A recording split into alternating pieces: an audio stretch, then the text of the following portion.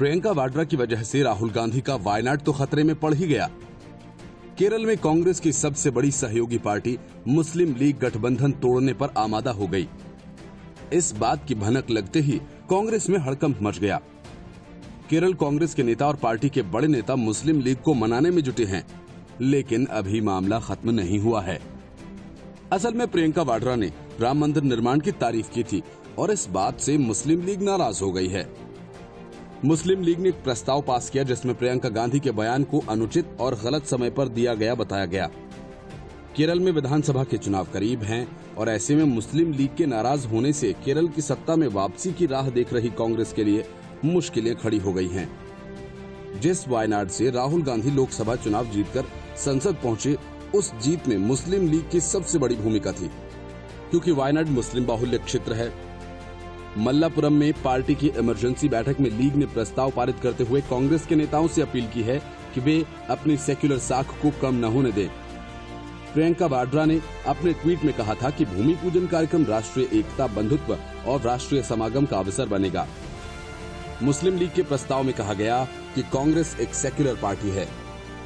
हम प्रियंका गांधी सहित इसके कुछ नेताओं के बयानों से दुखी हैं, जिन्हें हम अनुचित और गलत समय पर दिया गया मानते हैं।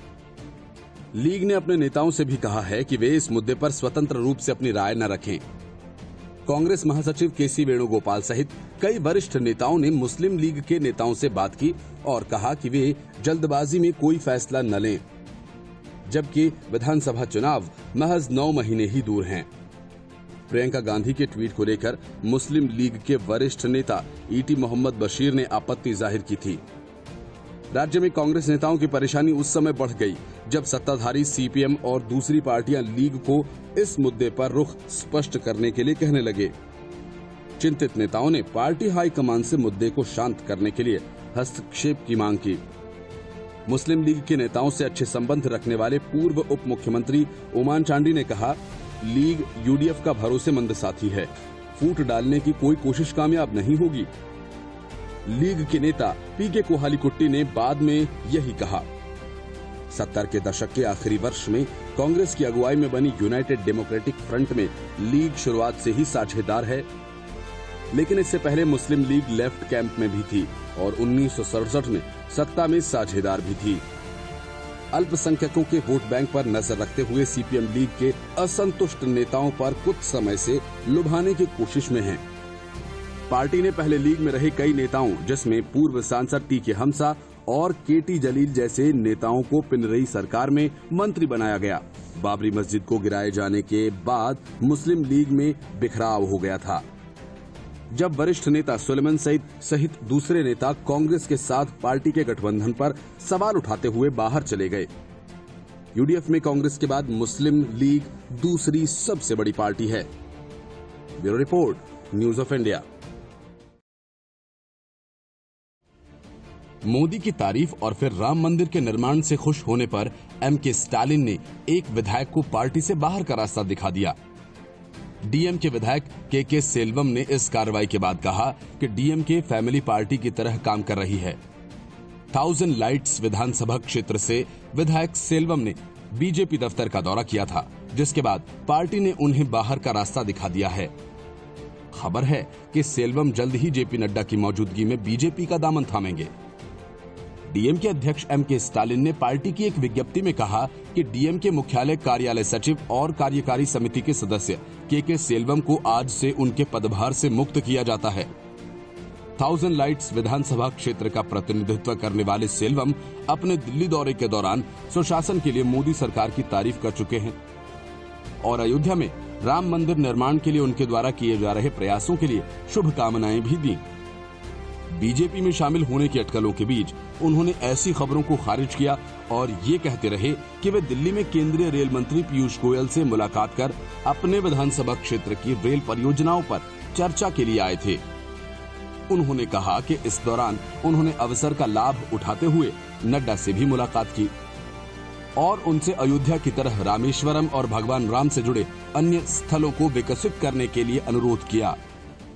थाउज़ेंड लाइट्स चेन्नई में एक अहम निर्वाचन क्षेत्र है।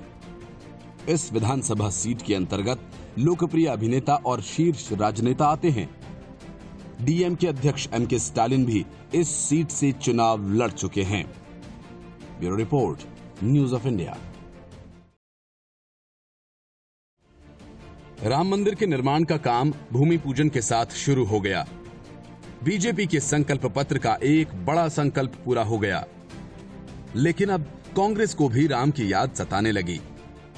पिछले एक सप्ताह से कांग्रेस के दिग्गज नेताओं के बयानों से ऐसा लग रहा है कि उनको अब समझ आ गया है कि बिना राम के नैया पार होने वाली नहीं है। कांग्रेस के दिग्गज नेताओं ने राम मंदिर का श्रेय लेने की कोशिश भी की। कई नेताओं ने इतिहास के पुराने पन्ने पलटे और बताया कि पूर्व प्रधानमंत्री राजीव गांधी ने ही सबसे पहले राम मंदिर की पहल की थी। उन्होंने ही राम मंदिर का ताला खुलवाया था और पूजा शुरू हुई थी। लेकिन अब कांग्रेस के युवराज भी रामलला के सामने दंडवत हो गए। अब तक कांग्रेस ही आगे बढ़कर बीजेपी पर तंज किया करती थी कि मंदिर वहीं बनाएँगे, लेकिन तारीख नहीं बताएँगे। चुनावों में ये कांग्रेसी नारा बहुत गूंजता था। लेकिन जैसे ही 5 अगस्त की तारीख मुकम्मल हुई, कांग्रेस के सुर बदल गए। क्योंकि अब वो इस मामले में खुद को अकेला पाने लगी। कांग्रेस के पूर्व अध्यक्ष राहुल गांधी ने अयोध्या में राम मंदिर निर्माण के लिए भूमि पूजन होने के बाद कहा कि भगवान राम मन की गहराइयों में बसी मानवता की मूल भावना है। और वह भी घृणा एवं अन्याय में प्रकट नहीं हो सकते। हालाँकि राहुल गांधी के इस ट्वीट का मूल भाव पीएम मोदी पर निशाना साधना ही रहा। इसलिए मुस्लिम लीग ने राहुल के इस ट्वीट को नोटिस नहीं किया। लेकिन प्रियंका वाड्रा के ट्वीट से ज़रूर भड़क गई और केरल में कांग्रेस का गठबंधन खतरे में पड़ गया। कांग्रेस की स्थिति बहुत ही पेचीदा हो गई है। अब तक वो जिस मुद्दे पर बीजेपी को घेरते रहे, अब बात उस मुद्दे के समर्थन की थी। क्योंकि पूरा देश राम मंदिर बनने की खुशी ज़ाहिर कर रहा था। अब कांग्रेस के सामने केवल एक ही विकल्प बचता था कि वो राम मंदिर का समर्थन करे।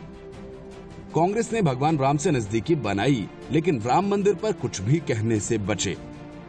इतना ही नहीं, कांग्रेस ने अपने प्रवक्ताओं को भी टीवी डिबेट्स में जाने से मना कर दिया, ताकि उनके प्रवक्ताओं को इस मामले में पार्टी का स्टैंड न रखना पड़े। दरअसल मामला तो यहाँ ये है कि पार्टी को खुद अपने स्टैंड पर कंफ्यूजन हो रही है। वो कैसे क्लियर करे? कांग्रेस महासचिव प्रियंका गांधी वाड्रा ने एक बयान जारी कर कहा कि राम मंदिर का निर्माण राष्ट्रीय एकता, भाईचारे और सांस्कृतिक सद्भाव का प्रतीक होगा। मध्य प्रदेश के पूर्व मुख्यमंत्री कमलनाथ ने भोपाल में अपने निवास पर हनुमान चालीसा का पाठ किया और कहा कि हम मध्य प्रदेश के लोगों की ओर से अयोध्या में 11 चांदी की ईंट भेज रहे हैं। कांग्रेस के प्रवक्ता और लोकसभा सांसद मनीष तिवारी ने भी इस अवसर पर देश के लोगों को बधाई दी। सुप्रीम कोर्ट के उस फैसले का कांग्रेस ने पहले ही स्वागत किया है। जिसने अयोध्या में राम मंदिर के निर्माण का मार्ग प्रशस्त किया था। कांग्रेस नेता अब श्रेय लेने की कोशिश कर रहे हैं। पार्टी के वरिष्ठ नेता जितिन प्रसाद ने कहा, कांग्रेस पार्टी ने पहले ही राम मंदिर के निर्माण का स्वागत किया। ये हर हिंदू के लिए और व्यक्तिगत रूप से मेरे लिए भी आस्था की बात है। मुझे खुशी है कि राम मंदिर का निर्माण हो रहा है। छत्तीसगढ़ में जहाँ कांग्रेस सत्ता में है सरकार ने एक नया पर्यटन सर्किट शुरू किया है, जो उन सभी महत्वपूर्ण स्थानों को जोड़ेगा, जिनके बारे में कहा जाता है कि भगवान राम ने अयोध्या से अपने वनवास के दौरान यहाँ दौरा किया था। राज्य सरकार ने राम वन गमन पथ के लिए पचहत्तर स्थानों की पहचान की है। कांग्रेस, दिवंगत पूर्व प्रधानमंत्रियों, राजीव गांधी और पीवी नरसिम्हा राव द्वारा मंदिर के मुद्दे पर किए गए कार्यों को बता रही है। Bureau report, News of India.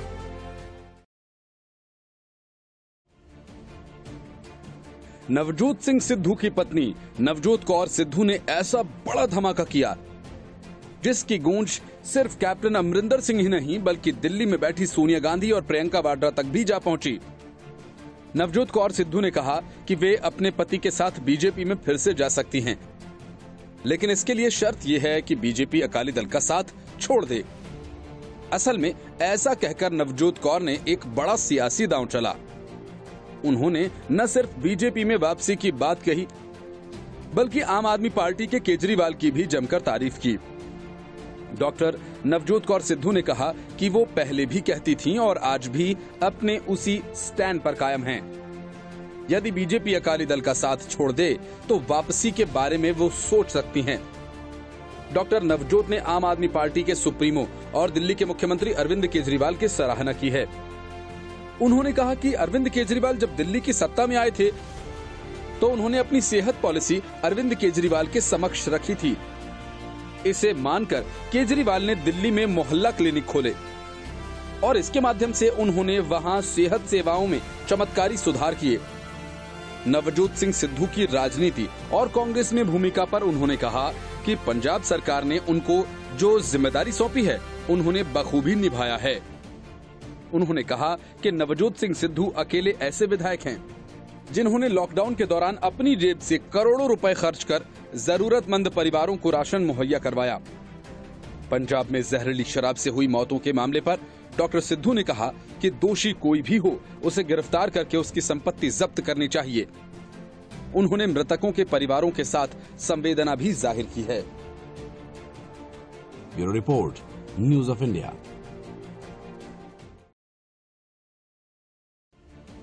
Ashok Gehlot के पास बहुमत का दावा है, सरकारी अमला जमला है, पुलिस का साथ है। सचिन पायलट और उनके समर्थकों पर हर किस्म का दबाव डालने से लेकर पायलट पर लगातार हमला करने की अदा है। बावजूद इसके, गहलोत अंदर ही अंदर पायलट से बेहद डरे हुए हैं। करीब महीने भर से जारी पायलट की चुप्पी से कांग्रेस के अंदर खलबली मची हुई है।